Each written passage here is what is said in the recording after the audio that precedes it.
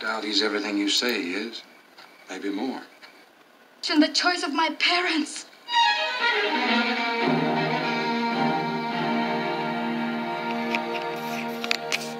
Down in some lone valley, in a lonesome place, where the wild birds sing sweetly and the wind blows so free.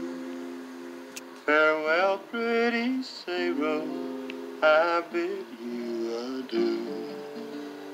But I'll dream of pretty Sarah wherever I go. My love, she won't have me, so I understand. She wants a rancher who owns house and land. I cannot maintain her with silver and gold. But I'll dream of pretty Sarah wherever I go.